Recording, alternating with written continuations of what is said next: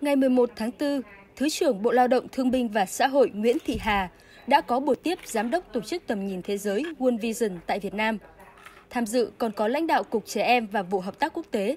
Tại buổi tiếp, Thứ trưởng Nguyễn Thị Hà đánh giá cao những sáng kiến mà World Vision đã triển khai trong suốt 30 năm hoạt động tại Việt Nam, như chương trình thúc đẩy quyền tham gia của trẻ em, phòng chống tai nạn thương tích trẻ em giai đoạn 2016-2020, đặc biệt là sáng kiến 5 năm, chấm dứt bạo lực thân thể trẻ em trong gia đình và trường học.